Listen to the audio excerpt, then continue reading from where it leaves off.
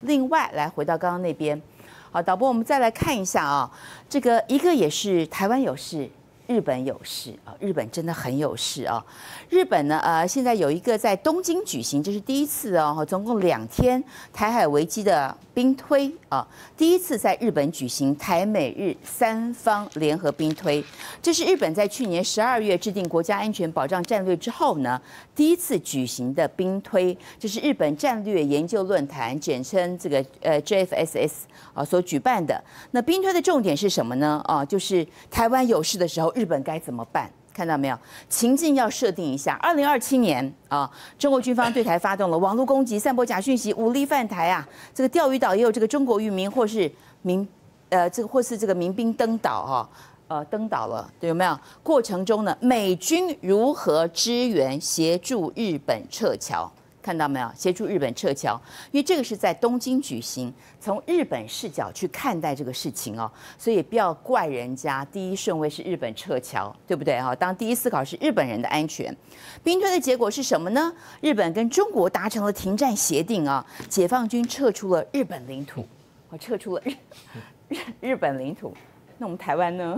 我们台湾呢？啊，然后再来看一下，呃，里面和愿景基金会啊提醒大家，台美日没有建立安保对话机制，这是一个很严重的问题。因为如果说是日本这个台湾有事，日本真的有事的话，到有事的时候才发现只能够建立起临时的对话机制啊，那可能会相当的不足。记不记得？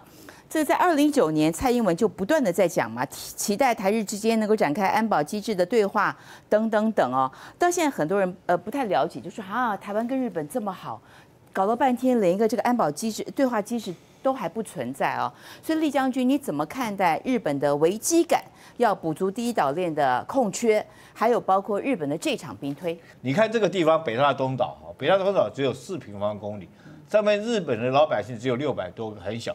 可你看它这个位置，当我们现在这个地图的范围不够大，如果再大一点，往东一点的话，就是关岛，也就是我我经常讲的，就是从日本东京、台湾跟关岛之间的一个三角地带。这个三角地带就是第一岛链跟第二岛链的中间。那以往来讲的话，日美军跟日日本他们都一直认为说，中共没有那能力穿过第一岛链，所以他在这个地方没有没有投资任何上面军备上面的一个兵力或者是一个设施的部署。他们现在发现中共已经有能力穿越这个第一岛链，它旁边北大东岛旁边那个岛叫什么？你一定听过，叫安美大岛。我们经常听到说，呃，中共什么航空母舰山东号从安美大岛穿过去，宫古大岛穿过去，就是从这方面穿过，一穿过去就是北大东岛。那在这种状况之下，他为了防止中共穿破第一岛链，他开始现在才开始在这个地方部署雷达。那在这么小一个地方。长宽各两公里的状况，你部署车载雷达，其实我觉得这个影响有限了哈。那关岛以前它没有，现在美军自己也在加强关岛的，比如说它部署它的萨德系统，在呃北边的一点，呃这个这个北大领导也在做它的一个预备阵地空军机场起降一个空军基地，所以我觉得这些设施从这些设施你反推回去，你去研判。就已经很清楚，就是说，美国跟日本认为他们第一岛链不见得能够守得住，就是说，共军来讲极可能会穿入，所以他们必须要在第二岛链的部分做一些军事上构筑上的一个加强。对，那日本这个兵推哈，其实我们台湾诶这些绿营的阵营看了以后可能会很伤心，因为安倍大家一直很兴奋，对不对？他听说他遗孀过两天还要来，对不对？好。然后大家，我们这个台湾岛上面有一些人很兴奋，没台湾有事，就是日本有事，日本有事，他没讲什么事，他日本有事什么就撤侨嘛，对对，对不对？日本现在其实他的名义上面调查，尤其是像我们现在叫呃冲绳啊，中国把他们叫做琉球了，好，改成叫琉球，那我就按照中国的说法说琉球这个地方，其实老百姓其实是非常反战，因为第一他们是。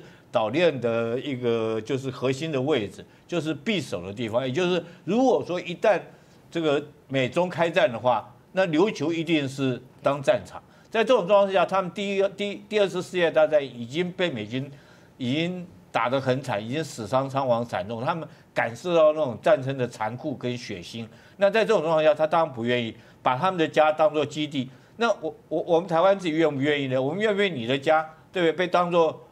城镇战的一个一个公式碉堡在那边。我跟你讲哈，台湾讲城镇战，我今天讲不好听一句话，你在你们家挖一个碉堡，我要我要这个抗击解放军，我在我们家窗口设一个射口，堆一个沙包，我跟你讲，把你缴械的是谁？你知道吗？你邻居把你缴械了。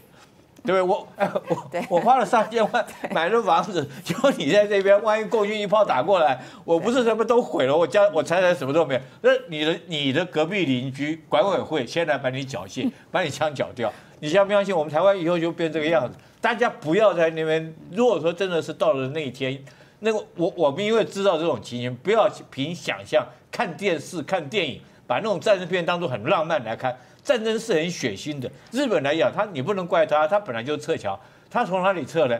呃，尤喜坤有没有哈？前几天从对对与那国岛，对，对不对？到宜兰来，那日本的撤侨方式就是到到宜兰那边，从宜兰的渔港那边坐船往与那国岛跑，是最快的。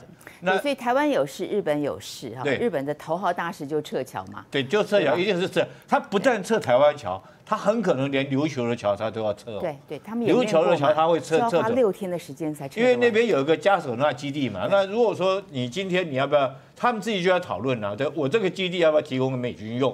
对他们来讲，如果说我提供给美军用，一定会被列入中共打击的范围。对，所以我们刚我们看到哈，这个演习在这个东京举行哈，这个虽然说是这个呃日美台，但它完全是从日本的视角出发啊。对对所以大家看到这个结论，大家也不用太伤心，这是应该的，刚刚好，不是吗？也恐怕跟哈这个我们的政府还有政府所宣传的台日关系好成这样啊，这个台湾有事，日本一定会有事，这个有事跟我们想的有事可能不太一样，我先讲在淡水河口这个演习，哎我看了很痛心，很怎样？我不晓很痛心很，痛心。我不晓得是国军现在是在纯粹就是作秀给民众看，还是说我们现在国军的这些各级指挥官连一点基本的战斗的这种阵地部署都不会？你怎么会选在沙滩上面构筑阵地呢？那个地方叫死地，你知道？那个地方哈是敌我火力交互的地方，就是我们自己炮兵也会打那个沙滩，敌人也会打那个沙滩，所以你在那边构筑阵地，你根本就是不是被自己的炮火打死，就是被敌人的炮火打死。应该要在哪里构筑阵地呢？我这个地方太熟了，我在这个地方当连长，所以这后面大家知道旁边有一个是台十五号线嘛，对不对？那个公路嘛，哈，巴黎那边后面就是什么？后面就是观音山延伸出来的丘陵地形，你应该要在那边构筑地形。你应该要在那边挖壕沟构筑阵地。你在沙滩上面，敌人第一波不管是用舰炮或者是用飞机，就把你轰掉了。第二波你是被自己轰掉，因为敌人登陆的时候，你是你是自己的炮兵去打那个地方，所以。整个来讲，我为什么我说要到那个山上？当然，我们我们现在演习，你不可能去用到民房了哈。暂时的时候，你可以去用民房构筑坚固阵地。但是以前我在这边，我我挖伞，我在这边挖过伞兵坑嘛。我们挖伞兵坑就是在后面那个山坡上面，那山坡上面还有什么？你知道，有坚固的水泥阵地哦，是已经有继承的阵地在那边。以前从日据时代的时候就知道这个淡水河口，中法战争的时候，法军就是要在淡水地区登陆。然后你你去看看，包括刘铭传盖的那个淡水那个炮塔盖在哪里？有没有有没有去参观过那个淡水那个有一个有一个那个炮塔？它也是盖在山顶上，它怎么会盖在海边呢？所以从清朝的时候，人家就知道说你不能在海边构筑构筑阵地，你兵力不能摆在那边。怎么我们现在国军你在沙滩上面去挖壕沟？我在山上老百姓看不到。对，就是作。如果说作秀就算了，如果说今天国军的素质连一个选择阵地都不会的话，看在我们眼里真的很痛心。那个山，我我讲像机，譬如说机枪，对不对？